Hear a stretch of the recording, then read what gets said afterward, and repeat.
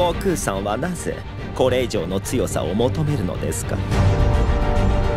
この名の力の大会で他の宇宙のとんでもねえ奴らに会ったから俺は燃えてんだ。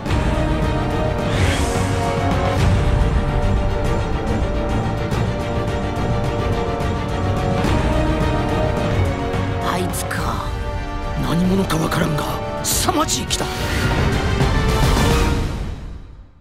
やれブロリーなんだこいつ戦いながら学習してやがる。素晴らしい。なんという戦闘力。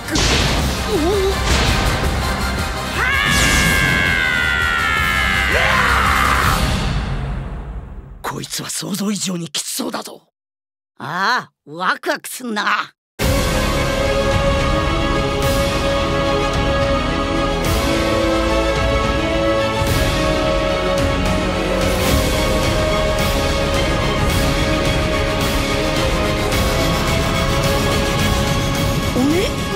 があんのか。